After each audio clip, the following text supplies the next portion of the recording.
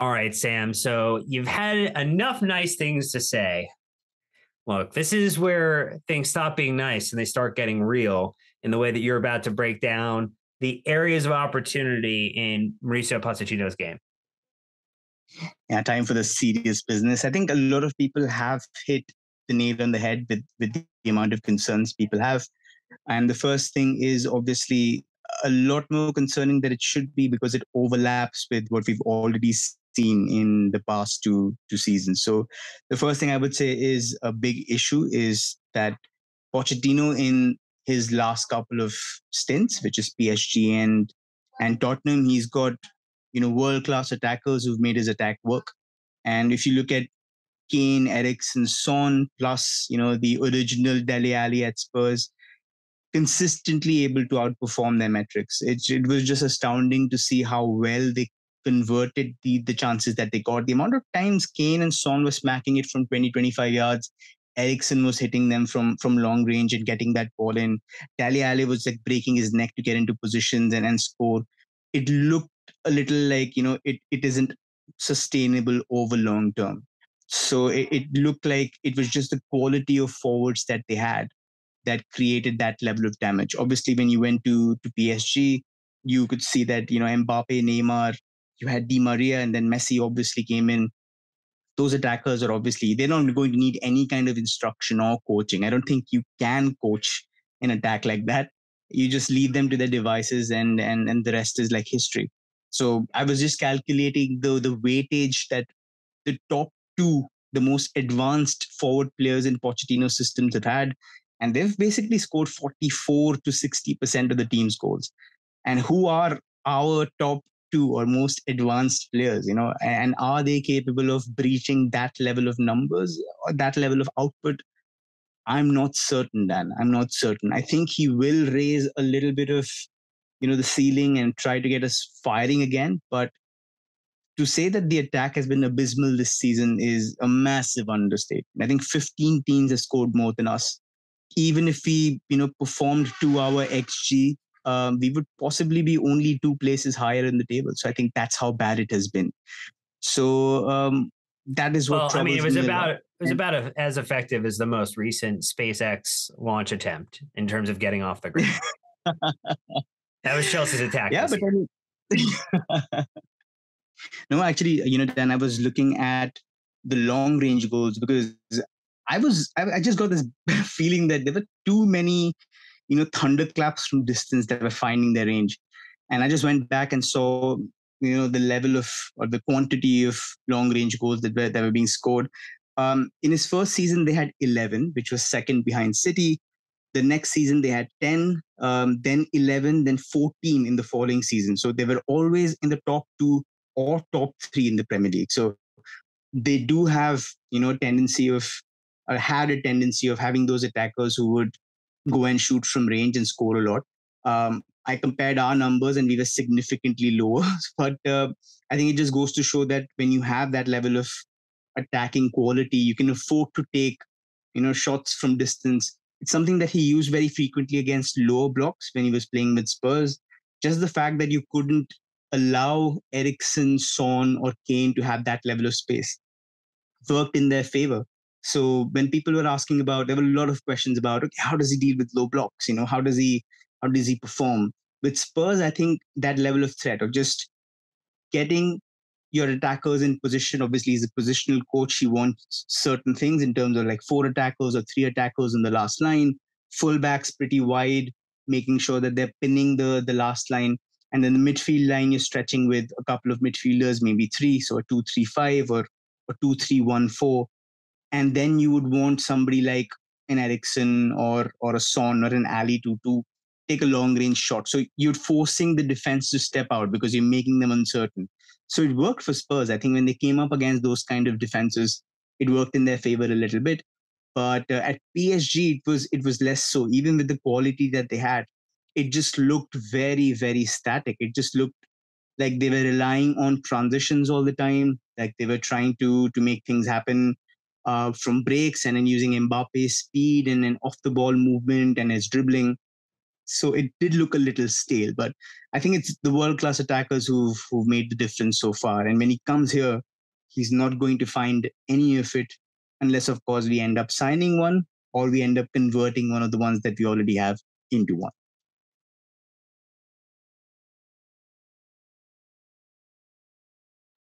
Now, definitely something to keep in mind as we think about uh, what recruitment may need to happen in order to just fill out and give any individual, not just Mauricio Pochettino, but any Chelsea manager was begging for someone to help add the goals this past season and wasn't getting that support. I think there's a couple other ones.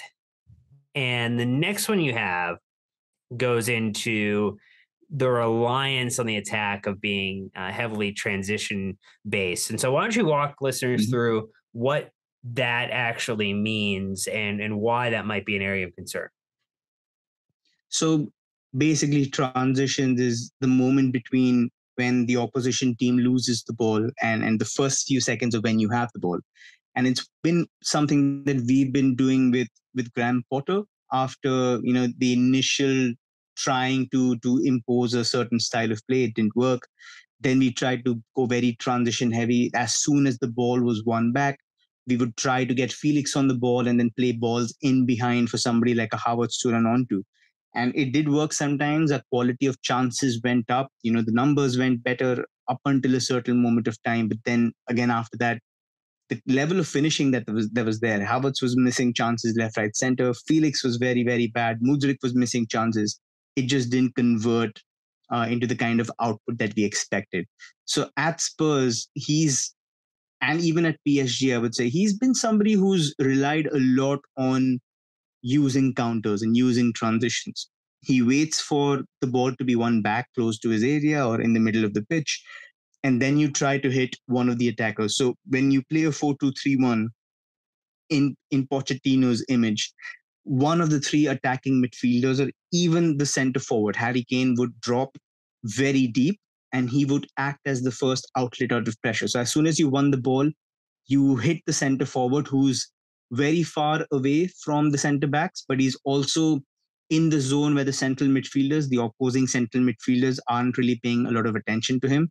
So he has the space to receive, turn, and then pick three runners beyond him. And we've got powerful runners like Son, when you've got guys like Dele Alli running into the box, you know, into space behind center backs who don't have anybody to mark, then it becomes a problem. And obviously, the speed that Son had, if you had enough space to play him into, you've seen the kind of balls that Harry Kane puts in behind the defense, the kind of you know through balls Eriksen and the kind of chances that he was creating. I think he was he created hundred plus chances at one point. Um, so that level of creativity, that level of hitting space, and then having somebody like a Harry Kane at the end of it, having somebody like a Heung-min Son at the end of it, finishing those chances worked very, very well for him. The same goes for Mbappe. Uh, the amount of times PSG would, instead of being a positional team, you would want them to exert a level of assurance, saying, "I'm going to win the ball back. I'm going to get into structure, and then I'm going to play it, you know, get my attackers into position and then I'm going to hurt you. Something that a Pep Guardiola used to do at one point in time. But Pep's also gone a little bit of the transition route. He's also very good at using you know Kevin De Bruyne and then using Haaland running into space. That works very well for them. But I think Pochettino relies like over relies on that a lot. There's also this tactic that he used very very often was that using Hugo Lloris or or one of the centre backs to go very long to Harry Kane. And then Harry Kane would challenge for the duel, say somewhere around the just the beginning of the final third. And from there, um, you would push the attacking midfielders close to Kane. So you try to win the ball back there. And then you would explode into attack. So when the long ball, what the long ball does is you're bypassing your opponent's first wave of pressure sometimes that's about like say if, if they're pressing in a 4-4-2 you're bypassing somewhere around six players. You can also bypass sometimes like you know four or five. So you're effectively trying to get numeric, numerical superiority in the other team's half and then you're trying to use quality to get into you know, the attacking third and try to finish off goals so that's something that he relied on a lot and, and harry kane was a complete forward. You know he's somebody at his prime who could hold up the ball who could play it short, who could link up, who could even just, you know, you didn't even need a second person. He would just collect the ball, turn around and smack a through ball for somebody running through. So having that level of forward who could do all of that was also very, very interesting. So is that emulatable in a side that doesn't possess those characteristics? Or will he have to change tack and then go a little more positional, try to coach attackers to function a certain way? I think that's the question that I'm asking myself. I'm not saying Pochettino isn't capable of doing it. I'm saying that at Spurs and PSG, I did not see it. That is a an interesting point, and again, we'll hopefully get to see uh, a fair bit of data points in the not very near future because we're hoping that uh, you know and the reports seem to be that Frank Lampard will carry out the remainder of the season and that Pochettino will get the opportunity to take over responsibilities once the season has ended. Sam, as you think about the other areas of concern, where are you heading next? Um, I would say his game plans against high level opponents. I think uh, Ooh, uh, a point of criticism into... that people have had about his record yeah. versus top six opposition. And uh, it's been pointed out. And uh, look, we, we haven't had a good record of it recently, um, you know, under our, our you know, last that's three managers. so, um, you know, I, I guess relatively speaking, it uh, it is something that we would want to kind of make sure people are aware of in terms of how his teams have performed against the uh, upper echelon of the competitions he's been in. Yeah, absolutely. I think it's I wouldn't look at just the end result and say that's something that concerns me. It's how he's getting there. I think that's a little more worrisome. He shows a repeated trend of trying to be very reactive. You know, when he comes up against sides that he thinks are going to dominate possession, are going to edge possession. I wouldn't even say dominate. You know, sides that just are a little better at keeping the ball. He just goes deep. He just sits in a mid block, sometimes a deep block. He waits for opponents to come and then he tries to hit you on the counter. And if you do that at PSG with with the likes of Neymar and Messi and and Mbappe having to sit in a compact block and defend. It's it's not going to help. You know, it's definitely not going to help. You might edge out results from time to time. I think PSG when they were playing Manchester City, they won 2-0. But the man of the match was Donnarumma because the amount of times he bailed them out. I think he made seven or eight saves. And although the result looked very good for Pochettino, it Manchester City on another day would have, you know, come out significantly on top. So I think it's just one of those results that shows all was not well. Um, he consistently sets up like that, even against Dortmund. Like the, some the, the goals that I saw for Harry Kane and, and Son, the same, the absolute same thing that I mentioned previously. It was just ball won back by one of the centre backs or or one of the defensive midfield pivots, long ball to Kane, long ball to Son, 1v1 or 2v1, and then Kane bursting through, shrugging off a defender and finishing, and Son doing the same. So it's the same strategy. It's just how viable is it? And when you come up against a side that has figured you out that you're probably going to try and do this, which may explain why, you know, they tailed off later on, or why results went bad at PSG, where, you know, decent teams are sitting back and, and just saying, you know what, try and damage us in possession because you know that that's not something that you're very comfortable doing. That was their unraveling. I think his reactiveness is an issue. His setup against high level opponents is an issue. He's he's not somebody who will go there with intent, with proactiveness, and say, "I'm going to show them that I can keep the ball and I can hurt you with the ball." I think that's something that that also concerns me. I'm yet to see him as a positional coach use possession to actually create openings or damage it. His attacking patterns are a little hazy. I'm trying to find these repeated level of patterns at PSG. I can't because Neymar and Mbappe don't really make the same run twice. They're they're trying to do something else. They're trying to basically stay together and and play off intuition. It's the same with Kane and Son. You know, you would see them make the same kind of runs, but you wouldn't see the same thing repeated twice. It would just be small interchanges one two and then long sprints behind the behind the back line so i think that's something that okay comes good once twice against high level opponents but how many times is it going to happen? And, and why aren't other facets of attacking play visible then? I think those are questions that again when i'm looking at his spurs side when i'm looking at his psg side sort of keep me up at night. Well, hopefully it's not giving you uh, nightmares. And uh, there's uh, other things that you can focus on in terms of thinking about how Pochettino and his side will coalesce at Chelsea. And I think that brings us to the last one, which is a little bit more of a issue at PSG and less so at Tottenham, but the inability to get PSG to look like a team rather than a collection of talented individuals is one of the last points that we want to talk about when it comes to just where where the issues are from a concern standpoint. Yeah, I think there is a certain dichotomy when I look at his body of work. I was talking to Ali, Ali Razi, who's um, a really, really intelligent PSG writer, fan, analyst. You know, please go check him out on, on Twitter. Somebody who does a lot of tactical breakdowns, and as somebody whose work I looked at when we were looking at Thomas Tuchel, so he's extremely, you know, well versed with what is going at PSG. So he told me that you know there was there were an incredible amount of concerns. It just looked like the team had regressed as a whole under Pochettino. Um, there were concerns about how the team was organized.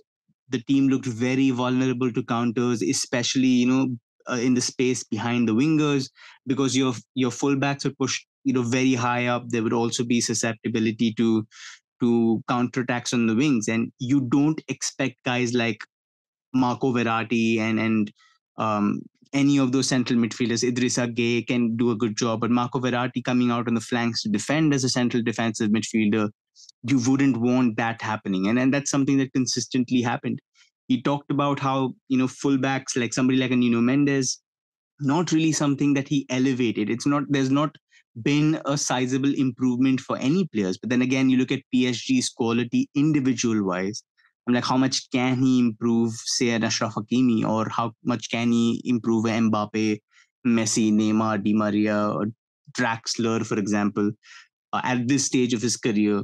So I think when I look at that and when I look at Tottenham, where he did most of his work, I, I still feel like, you know, how much of it is still applicable.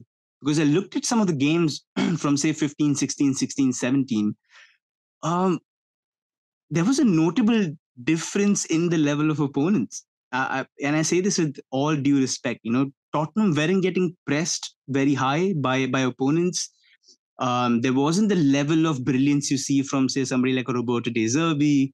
You see from all the coaches now, say Unai Emery, for example, the level of organization, the level of pressing, even the level of playing out. So the way Spurs were pressing, they were very good because back then sides weren't as good as playing out from the back. You know, the level of centre backs, technically proficient centre backs back then, weren't the same as the ones that the Premier League has right now.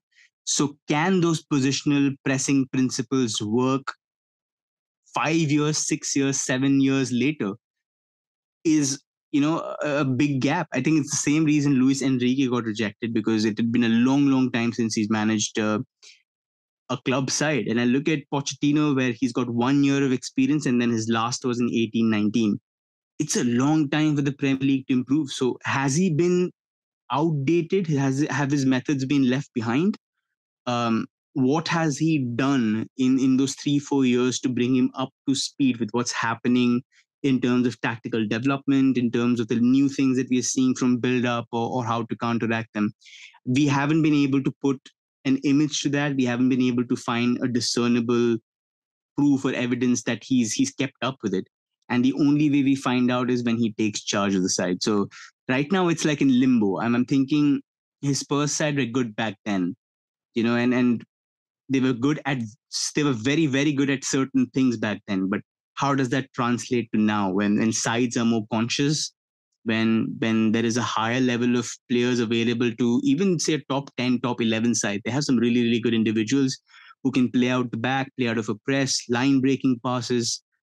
You know how well can can we press against those guys and ex- um, you know expect the same level of success? So um, that's just the cynic in me asking those questions. He might well be well well ahead of if everything that i've mentioned but it's just a question that i would say is is a cautious you know question we should be asking um, before he takes charge of his first game all right, Chelsea fans, want to give you a shout out to Indeed.com. That's right. When you are drafting your fantasy team, do you ever wish you could handpick the best stars for your business team? If you're building your talent roster, you need Indeed. Look, with Indeed, matching as soon as you sponsor a post, you will get a short list of quality candidates whose resumes match exactly what you're looking for on Indeed. Boom, it's hiring at warp speed. So, what do you got to do? You got to visit Indeed.com forward slash blue wire to start hiring now. Just go to Indeed.com slash blue wire. Link in the description below. Terms and conditions obviously apply. Cost per application pricing not available for everyone. Need to hire? You need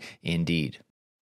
So as we think about and move forward to this idea, it's now August. It is the near the start of the Premier League season. It's the first press conference ahead of match day one. And he's talking about players in the lineup. He's talking about players he's excited to get their first minutes under their legs to start the season. And we're thinking about players who are potentially going to win or benefit the most from someone like Mauricio Pochettino coming into Chelsea. Uh, we got the question from uh, Gospod Professor and Danny Windsor 96 is asking who who are going to benefit. And Sam, I, I put it in here, I gave you the script, and basically the only thing I had filled out when you had touched it was which player was going to win. And it's Mason Mount. Mason Mount, Mason Mount, Mason Mount is likely one of the biggest winners if Mauricio Pochettino does get appointed. We heard it from Matt earlier. We've heard it independently from people who've maybe, you know, been a couple of degrees separated from an understanding of where this is heading that Pochettino would want to keep Mason Mount and would want the club to do what is necessary to keep him here beyond this season and beyond next season and into uh, the foreseeable future. Yeah, definitely. I think Mount is somebody who instantly stood out to me. It was, uh, I think he's a player Pochettino would love to coach. Obviously, we've talked about the physical uh, fundamentals that he demands from his players, and Mason Mount is incredible in those respects. I think something that even his detractors would not sort of um, argue against is his level of physical output. You know, they often use it to to sort of like insult and they say, oh, he's a you know he's a pit bull and he's a terrier. He runs around everywhere, but he does run around and he's extremely dynamic. He's he's a very good presser. He's usually the trigger, you know, the pressing trigger. He he offers that impetus for the rest of our side to go and and press and, and win the ball back. So he's somebody who will offer that in spades in a 4-2-3-1. You know, you put him either in in the number 10 slot where I think he will be very, very good, or you put him on the right hand side, either way. Because in a 4 2 3 1, with which Pochettino plays, either of those guys are allowed to drop back, occupy the space between the between the defensive midfield and the attacking midfield and pick up balls in space, help and build up, and then orchestrate play from deep. It's something Eriksen did very, very well. I don't think Mason's technical quality in terms of his vision and execution is is quite as good as Eriksen, but Eriksen is, I think, the gold standard. We're looking at somebody who is, you know, right there, up there with the likes of Fabregas or the likes of all those technical playmakers that you can name. I think Mason's a couple of notches below that. But in terms of other qualities, also, he just fits, you know, somebody who can run beyond the center forward into space. He showed that, you know, under Graham Potter, we saw him do that with Aubameyang. Uh, if you watch the AC Milan game back, he's done that consistently even with Havertz, as soon as Havertz receives and turns his back, you know, Mason is making those runs in behind the center back to try and receive in space. So he's he's tactically attuned to that role and that responsibility as a as a free role as an AM. I think it's something that will definitely intrigue uh, Pochettino to no end. He's also somebody who's arguably one of our best long range shooters. Something we've missed desperately from from the front line. We haven't seen you know, accurate long range efforts. I don't know how many we scored from outside the box. I don't even remember the last one. I don't even remember the last time we scored. I think it's that bad a season. But um, yeah, it's just I think he he does fulfill a lot of the criteria that Pochettino wants from his from his ideal AM. So I would say he is a is a big big winner. Um, the second I would say is I think it would be safe to say Nkunku is is a very good option. Um, I've been watching him since his injury, and unfortunately, he he hasn't been as good. I think he's still struggling. He's still getting back up to speed. Um, he's also been on the bench a couple of times, so it does look like he will take some time to get back to speed. But um, the role that he played for at RB Leipzig, you know, very similar, using Silva as as the strike decoy and making runs beyond him, getting into the box, finishing, dropping deep, and then carrying the ball through lines and, and attracting pressure. I think he's excellent at it. If you put Nkunku even on the right hand side, on the left hand side, or the center, he's going to be absolutely phenomenal there. So I think Pochettino would would love um, somebody in the ilk, somebody in the technical quality that Nkunku has in tight spaces, his finishing quality absolutely must be, you know, raring to get him to play in the side. So I think that's somebody else who would would benefit a lot. Mudryk also is a very interesting um, option. You know, we've seen all those videos of him absolutely pumping iron in the gym. I think he's somebody who works very hard. We've seen the the level of acceleration, the speed that he possesses, arguably one of the fastest in the Premier League. So he's already got those physical fundamentals right. And I also the the games that I saw him play, you know, for um, Shakhtar, it just looks like he's all he's lacking is confidence. He's just very rattled by not playing games. Obviously, he was frozen out for a couple of games. He was he was nowhere near the starting lineup. Didn't play any minutes. Had a couple of bad performances, but consistently playing that role, getting a little rhythm into his body. You know, getting those first few take ons right, getting those few mistakes out of his way. I think he can be very good. He's also shown that he's happy to drift centrally. He's able to dribble through lines in the half spaces He's able to attack the box also if required. I think there there are some shades of Heung-min Son there. You know, he's not going to obviously offer you headers and and offer the kind of box movement that Son offers as as an auxiliary forward, but everything else in terms of long range shoot and and sort of finishing and getting into the box and causing a lot of damage with his gravity I think that's something that we definitely need to look at. And the fourth, at the risk of getting absolutely pelted with now, bananas, do it, do it, do it, and strawberries. I would, say, I would say Romelu Lukaku. A lot of people what? ask me about. A lot of people ask me about this. They're saying, you know, what do you think of of Lukaku? And I think like Poch would would definitely enjoy working with Lukaku. He's he's built for his system. I think somebody who's obviously loved attacking space in front of him. What Tuchel did wrong was profiling him as a back to goal man, you know, somebody who will win you duels and then, you know, can compete for that first ball and, and hold play up. Eh, that's not Lukaku at all. You know, that's that's not how Conte used him. His his first touch is a trampoline. Everybody knows that. In a, in a you know, a league like the Premier League where you're trying to get him to control under pressure, it's not going to work but you ask him to to chase a ball you know against one center back or, or a couple of defenders where he's had the liberty to you know use his strength and where his touches where his touches don't really have that repercussion of of you know coming off wrong. He can take the odd wrong touch because there's so much space ahead of him. I think that's where he thrives. And he's always thrived when Conte has given him that kind of space to run into. And it's something that Harry Kane has done it's something that a lot of other forwards that he's used has done. So I think Lukaku will enjoy it. It's just Pochettino needs to go back, watch Inter games from the title winning season, and just see how Lukaku was used, how Conte used Hakimi as like, you know, the fullback outlet. These are things that he needs to go back and say, you know, I need to implement this if I want to use Lukaku. And I think he's somebody with his level of finishing, with his level of output, with his speed, he can offer us something that we're missing at number nine that we wouldn't have to spend 100 million again on. The big caveats, obviously, is that the fans are never going to accept it. And uh, the second part being that his fitness is a huge, huge concern. It just looks like he's got a major, major digestive issue that was diagnosed at Inter Milan. Uh, I don't know if it's a gluten allergy or if it's if, if it's just something to do with his gut. Something went wrong, but um, he tends to put on weight very, very quickly in, in certain circumstances. So if he can handle that, great. But there are just too many factors that could that could make you know make this go wrong and go south very, very quickly. But if I had to look at Lukaku in a very neutral way, which is my job to do on this pod, I would say he's somebody that Pochettino would actually like and enjoy playing with. I think he would absolutely love to play in, in a side like this. It just depends on you know how well he's accepted, how well he's received, and if he's willing to come back, zip his mouth, and do the hard work. Lots of questions that are going to need to be answered there.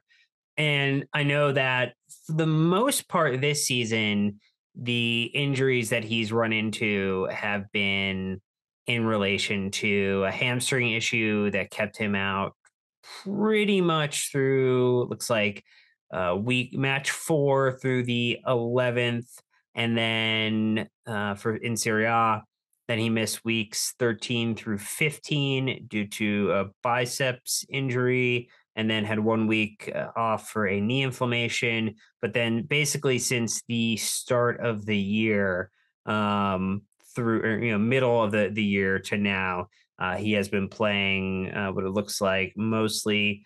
Uh, 60s, 90s, 80s, and uh, been uh, you know able to get a few goals, but not maybe as much as you would hope for from uh, your your your striker as well. With you know some losses in there to Juventus, uh, Fiorentina, Monza, and and a few others. So uh, doesn't need necessarily seem to be like he's uh, lighting it up. And you know, Inter don't always like to spend money on players, so uh, it does feel like there is not a whole lot of a market for Lukaku out there, and uh, you would have to figure out if he wants to try, wants to be a part of it, feels like he can make his way back with the supporters and uh, look, I mean, goals will score a lot, you know, fix a lot of problems. If you come back to Chelsea and you start scoring, uh, you know, every 110, 120 minutes, uh, you might become one of the most popular people in uh, in SW6. No, absolutely. I think three fourths, I mean, I'm being generous. Um, about 80% of the fan base would happily ship him off to Timbuktu or like attach him to a rocket and like shoot him to Uranus. But like, I, I'm just genuinely saying that if you could use somebody you've already spending 30 million a year on and, you know, sit him down with Pochettino and say, look, I play in a system that affords you space not behind, but in front of you and you've got guys who are willing to sort of offer that level of support give you the kind of opportunities that you enjoy. Why wouldn't you want to revitalize your career? Maybe next season we'll find a better number 9 somebody who's not costing a 100 million despite you know having some red flags here and there. Maybe then we can reconsider. But if you're looking at options right now i would say it is worthwhile to test him. It is worthwhile to give it a shot Auba was also somebody, if he was 30, 31, I would have definitely said explore that as well. You know, I think both those guys we've sort of not used properly. I there was one criticism of Potter that I had that the way it was Aubameyang was just frozen out. Um, you know, people will disagree with me, and, and I respectfully say that's all right. You know, no problem at all. But um, first of all, just double subbing him, uh, and then after that, just removing him from the Champions League squad despite him being a senior player. People say, oh, he's not done anything, but he was Champions League top scorer.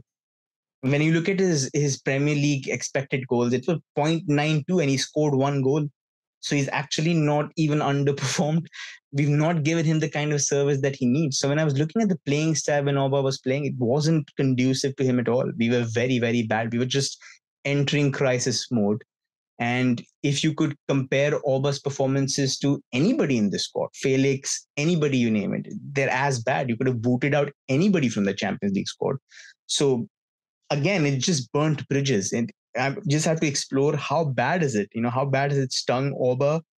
How bad has it stung Lukaku? You know, do they want to work with a new manager, with a squad that is completely changed? And if they're up for it, if they genuinely want to, try them out in preseason you know go for it if not then try and get number nine and and you know do the needful and move them on. But uh, I think it would be it would be pretty uh, unresourceful of us to not explore those possibilities first. Yeah, I think that's the key point. And uh, again, we're not trying to anger anybody by saying these things because there is a lot of emotion behind the feelings towards Lukaku, the timing of that interview underlined, bolded, italicized that leaves people feeling very, very disappointed in the way that he chose to conduct himself, in also the then it, certain issues that he ran into playing under, you know, in this Chelsea team, and under this Chelsea side, and his desire to get back to Inter Milan to Serie A and to not see that kind of go off. It would be beneficial to all parties if some type of building of the bridges back could happen. If we were to go into a world in the future in 2024 and Lukaku has scored 20 goals and is Chelsea's top scorer, and Chelsea are on our way to uh, a very easy top four finish and maybe very deep in some cup runs and getting ready to look towards a future in 2024 and 2025 going back into European competitions, everyone would be better for it because the reverse outcome is that you continue to lose multiple tens of millions on this player each season who uh, you have signed and is becoming um, a massive bust and is a liability on your your P&L. And yeah, I think you outlined it perfectly, Sam. Is that there, there just has to be some, and there has to be some thought without the emotion, and mm-hmm. figuring out if there is something there. And look, you know, uh, uh, Poch has been able to take some players and and turn them around. And could this be someone? Could it be a talisman for him? So could it be a magical type of relationship, particularly with the fact of of his focus on player personnel and fitness in the way that he coaches his sides. It almost seems like that Conte level expectation of what he wants his players to do might be able to bring Lukaku around if that were the case. And again, I'm just playing a little bit of devil's advocate. I'm trying to build a case for it. I'm not advocating that that has to be the thing we do, but I'm also trying to think mm-hmm. about if you want to sign all these other really talented players and numbers of keys positions, you have to figure out how you find some ways to uh, adapt appropriately when necessary. Agreed. Absolutely agreed. And uh, that's what I'm looking at. I'm looking at somebody who's obviously made a big mistake, um, hasn't really apologized very well for it. But uh, again, it's just if we look at it bereft of any emotions, we've we've gone through a very very bad time. Since the team has struggled everybody's struggled. So if you know people are saying no clean slates because they've lost patience but you know look where we are. We're genuinely mid-table and when we are not even creating the kind of opportunities that places anywhere near the top six let, let alone like you know anywhere near top four or top two in a title challenge where we should be so use everything that we have you know try to get everything um, squeeze every last drop that you can. I think that's the strategy that that we should apply, especially if if the counterpoint is spending a hundred million on another Serie A striker who you know has some question marks. People are saying Osimhen is it? He is genuinely very very good, but you know he also has games where he's had seven eight passes. So he's got Mbappe level of you know sometimes he's he's elusive all game, but he pops up with a goal. But how feasible is that in the Premier League? Those are questions that the recruitment setup has to ask and talk about with with everybody else and say, is that worth 120 million? And if that happens, sure, go for it. But if not, you know, use what you have. You have two genuinely world class forwards. You have Aubameyang and Lukaku. And anybody who's not saying that they're world class, you know, they are being biased. They've they've shown a track record. Auba, this is his first bad season in a long, long time. I think it must have been before Dortmund. I think every other place that he's gone into, he's he's returned, as has Lukaku. So even at Manchester United, where people called him like you know bulky, fat, whatever, he had weight issues which are undiagnosed. He was still scoring goals almost like a game every as a goal every two games. So you know maybe there's something wrong with us. We need to look at it and say, okay, let's fix it. I think that's the way to go about it. Yeah, well, we continue to look in the mirror and shift our focus a bit. There's also the thought about which players maybe are not going to be the beneficiaries of Pochettino coming in. Uh, you put one on the list that I think is going to catch people off guard. I threw a late one in, which I also think might catch people off guard. So let's start with one that won't, and we'll continue to talk about forwards and maybe discuss why Kai Havertz might be one of those individuals. And then we'll go to the one that you put first on the list.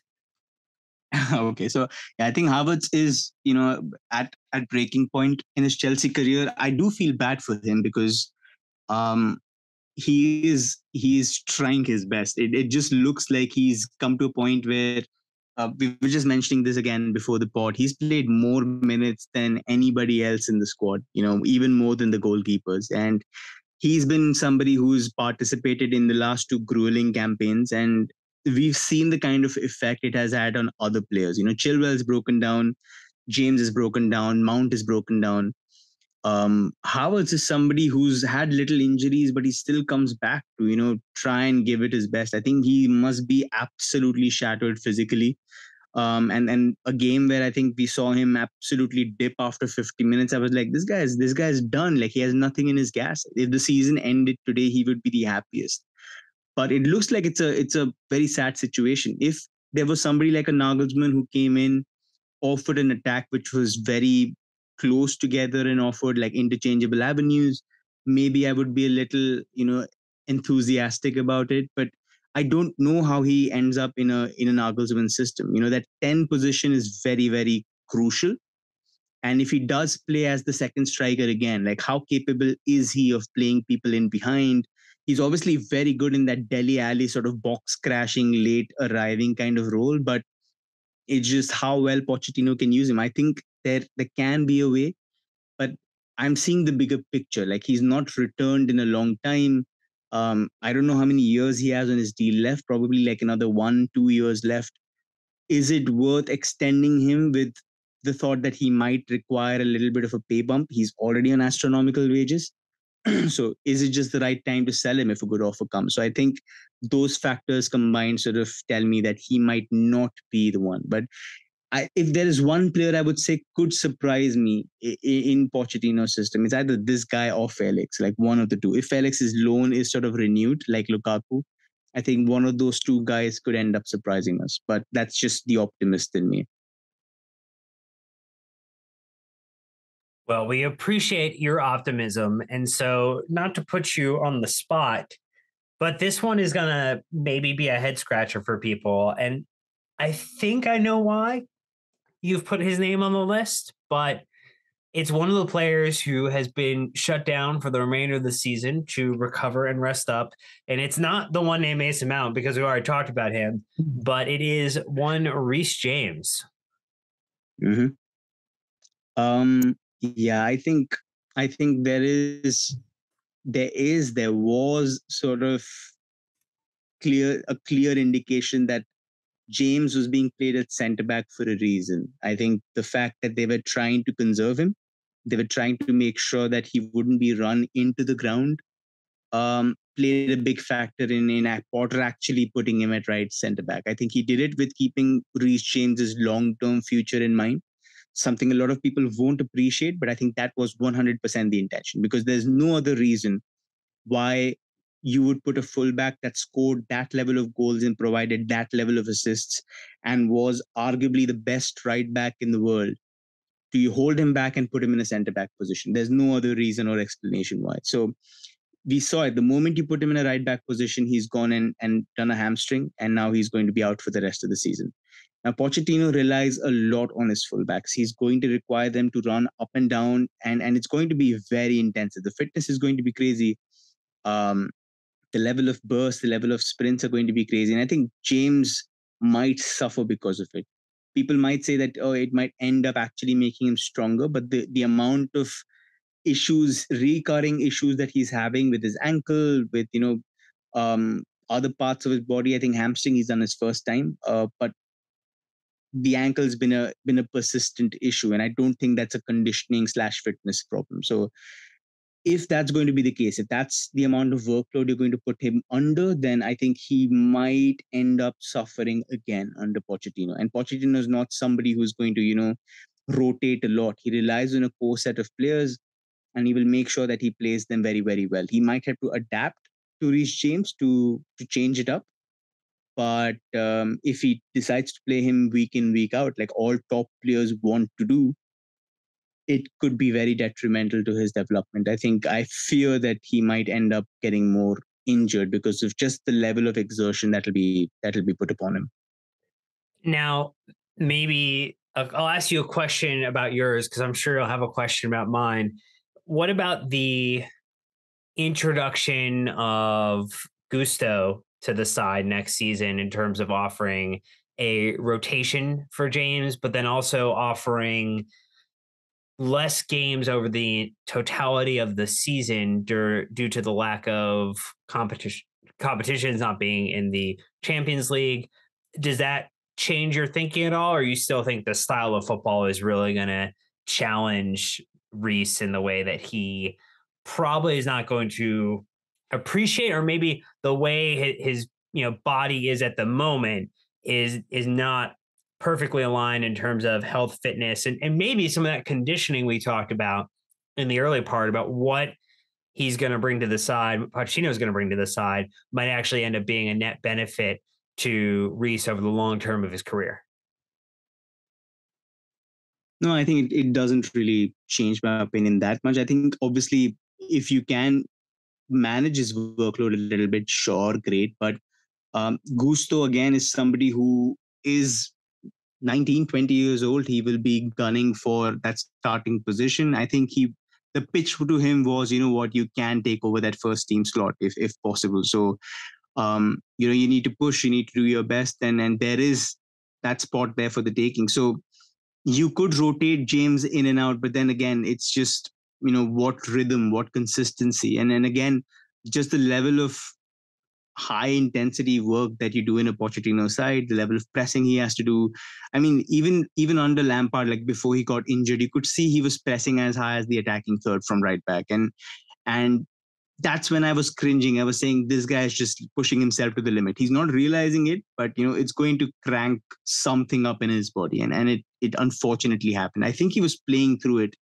I think that's the reason why his his Potter's coaching setup said, you know what, just minimize as much as you can and make sure that he doesn't like get out before we play a Champions League quarterfinal. But unfortunately, that happened, and um, here we are. But if he can be managed, great. But then some injuries are, you know, uh, unfortunately chronic. We've seen that with Ruben Loftus-Cheek to a point. We've seen that with Pulisic. Repeated injuries. We're seeing that with Kovacic also. Uh, but yeah, it's just trying to figure out like what the root cause is. And and I, I genuinely fear for Reece because he's getting injured an incredible amount. I don't know how many games he's missed in the past couple of seasons, but it is a significant chunk. And if this keeps on happening, especially with the with the demands that will be made of him, even if he's rotated in and out of play, I think it still could end up costing him. But again, me being the optimist saying it won't happen, but I'm looking at it from a very pragmatic lens. So yeah. Well, if you think about it this way, from a Premier League perspective in terms of minutes played, Reece James now shut down for the season will have appeared in started 14 games, made 16 appearances. That will be the lowest number since the 2019-2020 season. He'll have played 1244 Premier League minutes. That is the lowest since 2019 2020, where he played 1,515. And when you expand that to all competitions, so we're taking in any type of cup matches, his total matches played this season will be 24 with 22 starts, 1,935 minutes played. That is the lowest again since 2019 2020, where he played in 37 matches, 26 starts, and 2,393 minutes. So definitely he's off also, his peak. He's also played 35 minutes less than Jorginho, who left in January. So Wow, um, you just hit us with a deep cut of a stat there. Oh my gosh. so yeah, that's that's not very encouraging to be honest. Um, but yeah, it, it's it's coming to a point where I think Gusto was a very very good move because you know you don't want just a rotating option. You want somebody who can challenge for that right back spot going forward, and and especially at his age with his ability to play in a back three, in a in a back four that was good planning on on behalf of the hierarchy. But uh, yeah we have to be very very careful. I don't know what the the process will be. I hope there will be some the same level of diligence that was done with N'Golo Kante. Hopefully we do with Reece James and then we don't have to worry about you know rationing his minutes at all. But uh, yeah i think we need to be very careful. Well all right. So i've i've put it off long enough because i think mine will also draw some some raised eyebrows, uh, like the uh, like the Rock in uh, WWF era. I think Thiago Silva could also be an individual who loses out some under Mauricio Pochettino's mm-hmm. side for some of the same reasons that you talked about in terms of the physical demands. And this isn't to say that Thiago Silva isn't in a physical condition as a individual who is the same age as him wouldn't aspire to be at a moment's notice but more relative to the fact that he has been more likely to be injured this season than past seasons. There is a likelihood, or at least a thought potentially, where Mauricio Pochettino would be more likely to play a back four, and where Thiago Silva has excelled for Chelsea specifically, has really been as the central center back in Chelsea's back three. And when you have the crop of center backs that Chelsea has now in Benoit Badiashile, in Levi Colwill coming back, and Trev Chalobah, with the intensity of the game that Mauricio Pochettino is likely to play, as much as we value the leadership, again, this is just a thought exercise, but I could see Thiago Silva potentially being someone who would start frequently but it would be very well known that this is the transitional year where he is then making way for this group of individuals who really are the next generation of, of Chelsea center back. Not to say that he isn't capable of doing a job. Again, he's a professional footballer at the same age I am, and I am absolutely not. So this is more of just trying to look at all aspects of the situation. I think you've you've hit the nail on the head in terms of if we do go with the 4-2-3-1, it exposes Silva to every single weakness he has in his game. You would ask him to defend wide a lot because the fullbacks bomb forward, you know, the midfielders participate in the counter press. So you would often want or you would often demand that he goes out to address wide threats because that's where the counters come from. And Silva is not really somebody who's comfortable defending out wide. He gets very, very iffy, shaky uh, when he's up against quicker players. And then you can see that most of his, you know, senior moments have come when he's been defending out wide.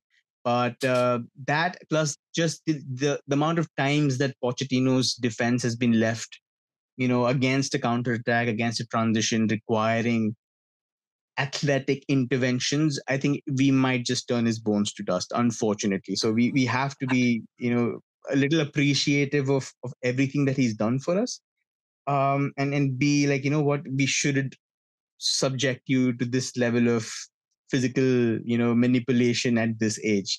But i mean i see a little bit of hope as well because at, at psg we did see a 3-4-2-1 mm-hmm. you know and, and tottenham i think he has used a 3-4-2-1 as well. So he has used the same system that thomas tuchel has um graham potter has. So we might just see something come out of left field and and he comes to you know rocks up to the bridge and the first formation he plays is a 3-4-2-1 because we've got Colwill, we've got Koulibaly. If we can't move him, we've got Cucurella, we've got Fofana, we've got Chalobah, we've got about six centre backs. So if if we can't move most of them, if you don't have four at the start of the season, if you have five or six, then he might go 3-4-2-1, convert James to a wing back, which would make more sense to be a little more conservative and then see where it takes us. I think that also is a scenario that we cannot discount. It it can happen. In that case, you know, Silva definitely gets a, a garden. All right. Well, I'm sure people are going to have opinions on that section of uh, players who uh, benefit and maybe lose out with Pochettino's introduction into Chelsea. Again, alleged, not necessarily confirmed at this exact moment of time of recording, but all sources are, and the, the Ouija board is saying yes as we uh, hold hands digitally across it to see what the fate for Chelsea's next manager is. We've got a couple, though, question and answers. I completely, I completely misheard that. I said you. Th- I thought you said a Ouija board was saying. I was like, why is the Ouija board saying that? Well, the Ouija board saying like yes, Mauricio Pochettino, like next Chelsea manager. Are the ghosts telling us Mauricio Pochettino is the next coach? Oh the, the, go, the ghost of Chelsea managers past. Um, well, anyway, we got a couple of listener questions that we're going to rock through here before we send you on your way from this bit of a mega episode, as it were, on Pochettino. We're going to start with Dieter's question, just asking Can Chelsea aim for top four again under Pochettino, and what formation will he use? I think those two tend to be major questions. We've gone over them a little bit, Sam. I'm going to say that it's a non negotiable for Chelsea to be aiming for a return to Champions League within a one season period. I think that is going to be an expectation. I also think it is going mm-hmm. to be mm-hmm. a massive challenge to close the gap year over year, particularly when every one of those sides that is currently above us on the table will feel buoyed by their performances this year. And some of them have a lot more money than they previously had to be able to reinforce and don't need as much work necessarily as Chelsea. So it is a tall order, but I do think that will be an expectation. And there definitely are a lot of pieces that Pochettino will have to be able to try to ascend at the same rate year over year from an improvement perspective. Yeah, like you said, I think there are certain standards that are absolutely set in stone, and you cannot talk about compromise or transitions anymore. I think he's got a very good young squad. He's got a lot of great clay to mold into the kind of setup that he wants to use.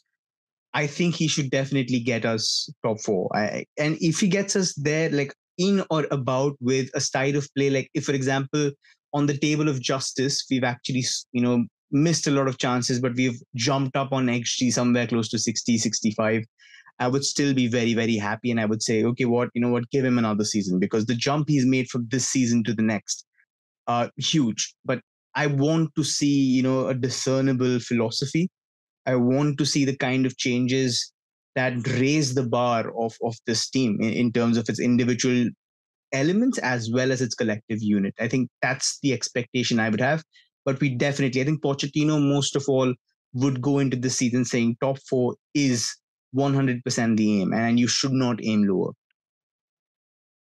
All right. Well, there's that. And then formation thoughts do you have any general thought again I, I, know we've heard that like you know formations aren't necessarily as important as maybe some of the application and performance uh, i believe that was mm-hmm. uh, you know some of his viewpoint but any thoughts about maybe just you know some some numbers that might make people feel like they uh, have better understanding about what it might look like on the field No, I think 4231 makes the most amount of sense to me in terms of something he's familiar with, something that suits the personnel.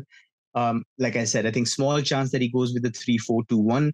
The other stuff that he's used, I think he's used a 442 at Spurs as well, as well as PSG sometimes. So those two formations can also happen, but I would say 4231 is most probable. And then after that, the 3421. I think those two definitely. All right, next question from Dallas Deep asking, what will Poch offer that Jose can't? Mr. Levy, don't speak pay and don't speak. Yeah, I'm not even going to try because my accents are always terrible. But So yours, uh, yours won the episode, but you know, my, my, accents are very good. I think that's that's something that people are not familiar with. I'm actually a pretty good mimic. You know, I do King Julien from Madagascar really well. I will do it on the podcast someday. But um, yeah, I think, but I think it's just uh, in terms of a direct comparison. I think I don't think it's fair to either one of them.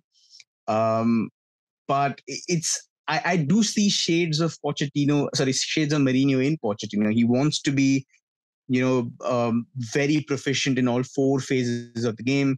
He wants to be compact. He wants to be very well organized. In a possessional sense, you know, he he wants to be have sort of like a unit that fights for each other. It's just the basic principles of it. He talks a lot about team dynamics, about having high level athletes who are mentally resilient.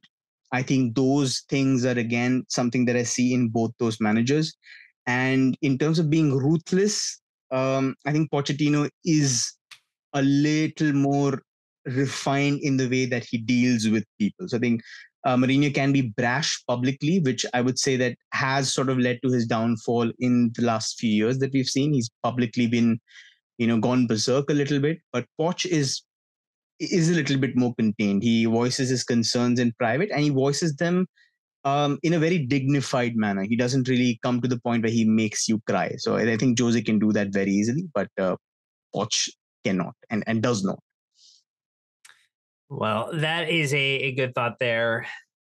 There was a question from Unagi asking, could you please mention how Poch teams dealt with top teams with high possession football? So I think this might even be the uh, like a Maurizio Sarri side going up against Tottenham. Uh, just the the goal of maybe I would imagine a 65, 70% high possession it, feels like his team has been comfortable playing on the counter and being okay not having possession, mm-hmm. though some of his sides yeah. have, you know, also been gifted possession like PSG. Yeah, absolutely. I think it's it's sort of his identity that has translated upwards. I think when when a lot of good sides have come to him in the Champions League, he's actually managed to put in some good performances because when you look at Mbappe and you give him space, um, to run into. You obviously, it's a terrifying combination. You see the kind of moves that Pep is putting off with Haaland. You wouldn't see it with the likes of Mahrez or, or you know, of Sterling. Obviously, somebody who did very well at his peak when he had that level of speed. But Haaland is consistently running through on goal from like deeper positions. He has a lot of space to run into. It did it did work pretty well in those in those competitions. But when it came to using the ball, getting the ball back from the opponent, I think at times they have struggled, especially at PSG. It's when they have to control the game, when they have to see out the game with possession. Um, like we say, like the, the amount of control we saw on the Thomas Tuchel, for example, just keeping the ball, making sure that, you know, like, like Pep says, they can't hurt you if they don't have the ball. So I think that's something that I haven't really seen from from Tottenham or PSG, and that's something that that um, makes me a little afraid, which is why I was leaning more towards Luis Enrique because he would he would definitely be the you know the archetype of that level of control. I control bordering on the excessive, but uh, somebody who would definitely allow your team to do that. You know, take a one goal lead and then keep the ball to a point where the opponent makes a mistake. And I think that's something that Pochettino lacks. All right, second and last question here would just be from Eat Sleep Chelsea asking about the tactical approach in big games, not wanting to see us uh, assume an underdog or counterattacking mentality. So you just touch on this a little bit. What do we think he'll do? Mm-hmm.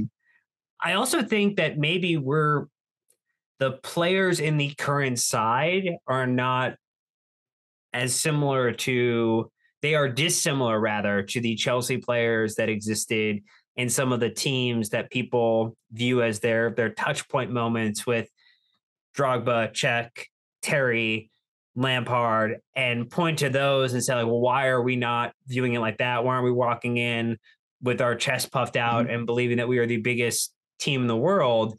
Like that has to be built up, and the bricks have to be Absolutely. laid to create an understanding of like this is who this team is. I would say that that we really haven't shown that, that that's who we are this season, and so I think it's going to be something where you would hope that there's actually not one approach to any type of game against a big side and that we are adaptive in the way that we handle it whether it is counting or you know countering because it's the best way to manage a team or handle a team or to get the result you're looking for and at the same time building off of those results to showcase the confidence in the players from individually, their ability to execute in those games, but also as a team to be able to execute in those moments. So I think it's a, it's more about the work to get there so that you don't have to view yourself as an underdog because i would imagine mm-hmm. right now that there's just a general assumption that we are the underdog in any of these games that we go into particularly against sides that maybe in the past have, we have not viewed them as someone on the same level as chelsea and i think maybe it's just too much view of the historical chelsea not necessarily of, of the reality today and there's also been a, a very interesting tactical shift in the World Cup, hasn't there? I mean, when you look at Argentina and their historic roots, it's always been La Nuestra, which in Spanish means our way of playing. And there was this whole debate going on saying that with this rise of everybody wanting to play a very positional Pep Guardiola style of football, have South American, you know, nations lost their identity? It's, you know, has Argentina lost its identity of having these athletes who love to play, who love to uh, combine with each other, have fun while playing it, have these organic connections which are lost in, in trying to be, you know, chess pieces on a board and and against a very technically good France side which came to dominate which had you know the World Cup credentials to go with it they they absolutely played their own way I would say it was Argentina rediscovering their identity in the fact that you can go to a game against I would say technically superior opponents and and play your own way and still win. You know, and I think if you have an Argentinian manager who insists on that, saying that we will win it our way, why not? You know, it's we've always thrived when we've been the underdog. You know, we've always gone into into high level ties, being told we can't beat Barcelona in 2012, we can't beat Bayern Munich we can't beat Manchester City. So why shirk from that identity? You know, embrace it and play the way that benefits us. Give nothing to lose. And if a manager tells you that, go and embrace it and see where it takes you. The last one that people have asked about, and I'm not going to call it anyone in specifics, but we did get a lot of questions about do you think Pochettino tries to convince us to go after Harry Kane? Would you go after Harry Kane? Is no. he the right solution? I think your no makes it pretty obvious. I, I, mean, like, look, no. the, the reality of the situation is he's scored more goals independently, uh, you know, over the past, uh, you know, uh, you know, one to two seasons, and Chelsea will, um, you know, score themselves as a to- total team across all competitions this year.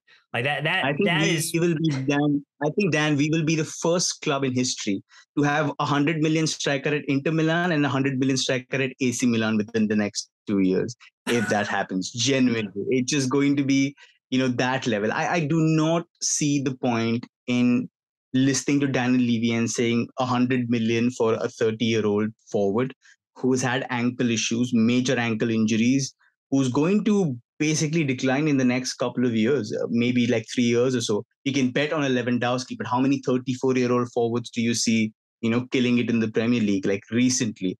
It's it's not that easy, especially with his injury record. So I would say it's a major, major red flag. You know, Pochettino might ask for it, but unless the price is right, unless the logistics make sense, I think we're again going into the into the same route of you know, going for the shiniest, most amazing toy available. Uh, we've got a great recruitment setup. Look at the options that are available. There are some really good forwards out there who will cost half.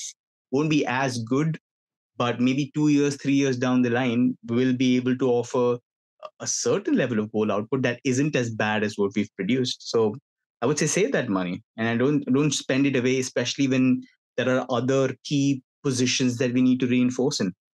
Look, the, the only reason we should do it is if we had 1000% certainty that bringing Harry Kane in with Mauricio Pochettino, that Chelsea would the very next season win the Premier League, because that would be worth a lot of money to see the reaction and the meltdown from Tottenham supporters. that, that that is that is that is the only way mm. you can convince me that it would be worth the dollars and cents. And now, now you've got me thinking. Yeah, the vengeful, the vengeful side of me sitting there thinking, hmm, screw tactics. I think that's a really good, you know, option to to just to see Daniel Levy sitting, clenching his jaws really hard. You know, I think that would be a sight worth seeing, one hundred percent. Well, we, we will not give in to the dark side of the force. We will not engage our inner Sith lords, and we will uh, lean more to the light side in the way of the walk the way of the tactics Jedi's, and try to advise the club when, whenever they might be willing to listen on maybe other players that would be of a better return on investment in here for a long, long period of time. But we want to thank you, Sam. I'm saying the collective we, as of everybody who is listening to this and has stuck around for a bit of a double sized episode. This is the Oreo double stuff of Mauricio Pochettino podcast. And we've hooked you up. So thank you for listening. And thank you, Sam, for all the hard work to get us here and to prepare. And hopefully, Chelsea get the deal done. So this episode, as people reference, doesn't go to waste. fingers crossed. I'm keeping my. I mean, the way my luck is going, I wouldn't be surprised if like a hundred feet meteor, you know, ends up right outside his doorstep and stops him from getting outside the house or something. I think that's the way it's just been going for me. So I wouldn't be surprised, but I'm just hoping that everything goes to plan and uh, we just get down to business. I think we have a lot of work to do, a lot of groundwork to lay before we start next season. So I think it's good to get business done early and hopefully a lot more conversations to to be had with you come summer. Well, I'm sure that Chelsea will not leave us wanting for topics over the weeks and months ahead between the end of this season, because really we're kind of in a extended preseason right now and the beginning of the next Premier League season. But that's going to do it for this episode. Thank you so much for listening. Thank you so much for your support, sharing these episodes, and letting your friends know about the podcast. Was appreciate it. Leave a five star review if you want to, and that would make us feel very, very nice and warm our hearts. And look, you can join us on Patreon too, and our wonderful Discord community. Sam answers questions in there too from time to time, and uh, he seems to enjoy it, and so the people do as well. But that's going to wrap us up. We've got so many more podcasts coming for you. Got a Brentford match review, and look, if there's uh, Pochettino news, we'll get an emergency pod out as well this week. So stay tuned for all of that. But until next time, Chelsea supporters, stay safe and stay well. And until next time, you know what to do. Keep the blue flag flying high.